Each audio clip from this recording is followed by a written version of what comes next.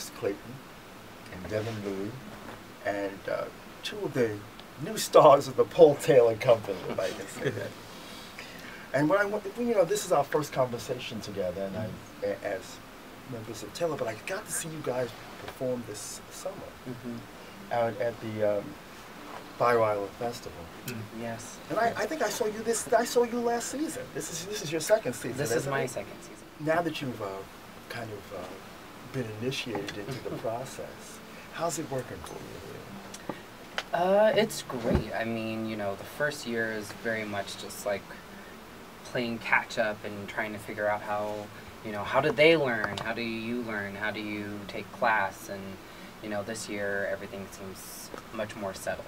There are recognizable patterns that I can do, and uh, it just is sitting physically better in my body. Uh, and it feels easier to uh, accomplish, and then to add the artist, uh, the artistry on top of it. This is your debut season, isn't it? Yes, sir. Yeah. So you, you had you heard what Alex had to say. How is that working for you then, in comparison to that kind of thing? Um, kind of the same. I've kind of been like forced to uh, adapt sooner than later. You know, like especially going through a, a very large transition. You know, with Paul's passing and everything, like I have to, you know, in a, in a sense, like pick up the slack sooner than later.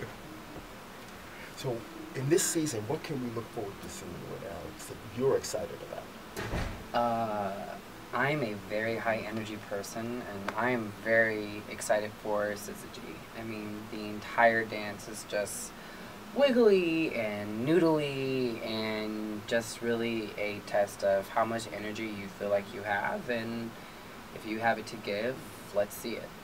Yeah, feels like an explosion.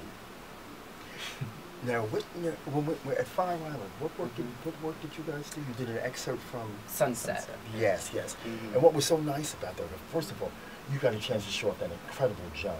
That fell off for days. wow, Yes. which is wonderful. Thank you. But you know, I, I uh, one of the I read something that talks about Paul Taylor and his tribute to wartime heroes Mhm. and the whole idea of, of war.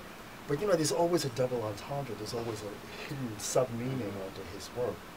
And uh, how in, in that work, Sunset, Mhm. how, how were you able to get the, the idea of the his being heroic and at, at the same time showing all of that kind of pathos underneath that? Hmm.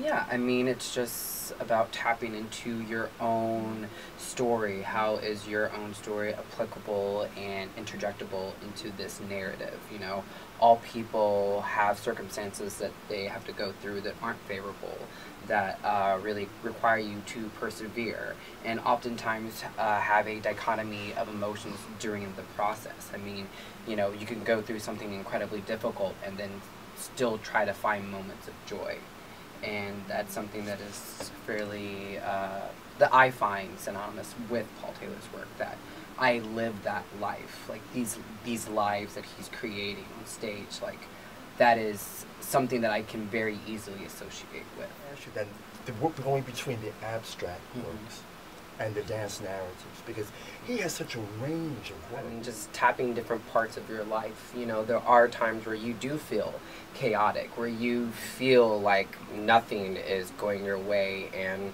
when you have a piece that is more angular and less, you know, less structured in a story kind of sense, you know, like that type, you know, that taps into like those blind rages or like you know those you know moments where you have so much physical energy um, that you don't quite know what to do with it. And Paul, I think, is great at tapping that and allowing you, the person, the viewer, the dancer, to then just experience that. Like here, like is a pure emotional response that is like not narrative, so that you can have your own experience and it be valid. Yeah. So, in that sense, what is what do you find your biggest challenge to be this season? Challenge this season. It doesn't have to necessarily be a work. I mean, but it may be the working process or. Um, hon- honestly, like diving into like the Taylor technique itself. Yeah, especially like me being um, someone who was like, you know, hired somewhat randomly.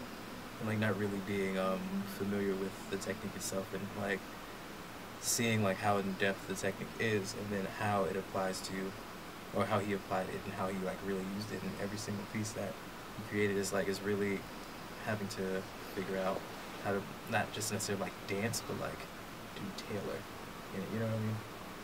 So I, I think that might be the biggest challenge because I can't just like do what I do. Because your background, so your background is more from the Ailey School and Yeah. from that kind of you know, you know Horton, Yeah, Horton, Graham, Graham, yeah. and so th- so this must be a very different thing. On, yes, this must be very different on the body also. Uh, yeah, a little bit. Um, well, I was I was introduced to Taylor technique from Carolyn Adams. I think my first summer at the Ailey School, but uh, after that, I like never really touched it again. Uh, I think at the time it wasn't really offered throughout the school year. Um, yeah, it's it's it's it's definitely a transition. definitely a transition. You know, it's uh. I feel like it's slightly softer on the body in certain instances than like you know your Horton techniques your. You know. So, and how is it changing your physically? Because usually when you think of a Taylor guy, he's got a little more oomph than your lath frame does. Yeah, yeah. Um, uh, I have a chest now, so like, that's that's a thing. I hadn't, hadn't had one in like you know about 18 years, and like one just popped up. So well, kudos to the technique. you know, like Yeah. you know, the technique gave it to me.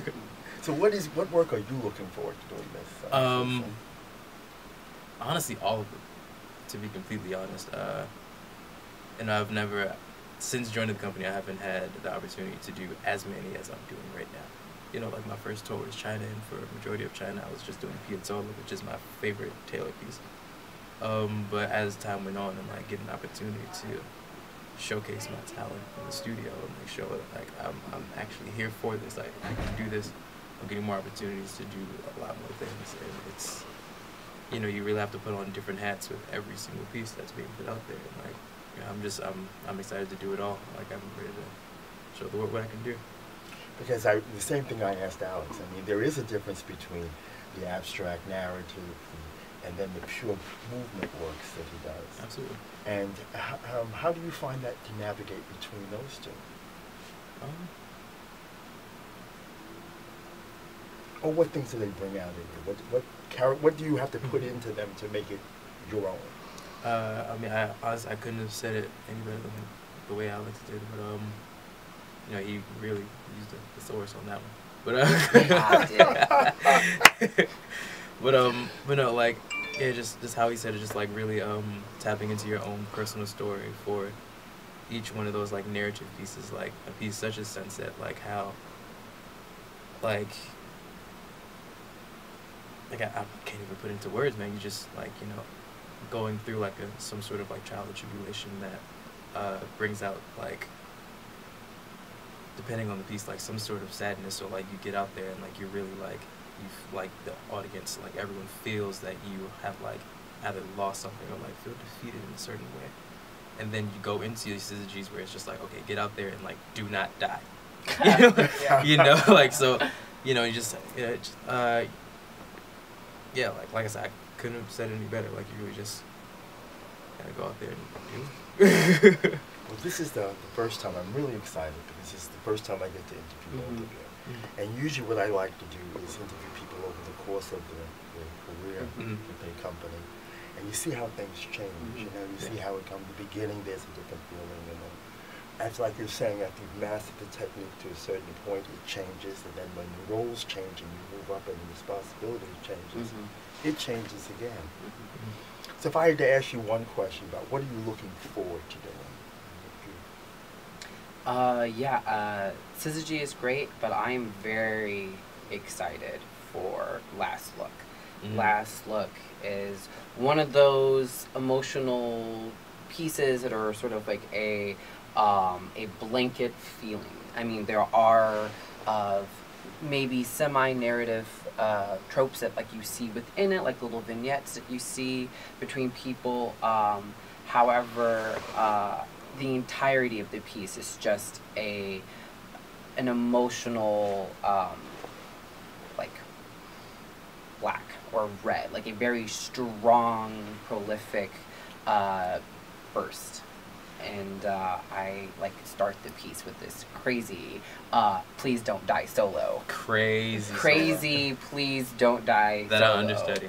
Yeah, and uh, and it's it's beautiful and it's intense and it asks the piece asks you as the dancer to give everything that you can give. Like what is like the deepest emotional uh, piece that you can use as an impetus physically. Like how can you throw your body in a way to then to be able to do it again. Like yeah, Exactly. so. All that. all of that Mhm. coming your way. So in parting, I just want to, my last question is for you, Gavin. Yes. If you had to, um, what would be your ideal role if you had a chance? I mean, right now I know you're exploring. This is your first season, but you're looking at the full company and say, "What do you say? I'd love to do that." That that's all I in Syzygy. Like up, like come out the gate. Like the first time I was told to like watch that video, and I watched uh, Michael Trusnovec do it, and I watched um, Christopher Gillis do it, and I was like, I, I, yo, I was like, that looks like me all up and down. You know, like like I was like, I, I don't know if it's gonna come back. At that point, I was like, I don't know if, if this dance is coming back at all, but like, I would love to do that. That particular like that would be like right up my alley. And you're doing And it. now, now I'm doing it. I'm That's that one. doing it. Like it And came it's true. great. So, the, so the audience needs to come see this this season. Yes, Come see please. these two guys. The season starts on the 29th of October and goes to the 17th of November. Uh, Michelle calls it the State Theater. but it's Lincoln Center, and it's um, a grand setting to see an incredible company. And I want to thank you guys again for taking the time out. And I hope this becomes our annual thing that I get to sit down with you and talk So, about all things That Taylor. would be amazing. Great. Love it. Thanks again. Thank you. course, thank you.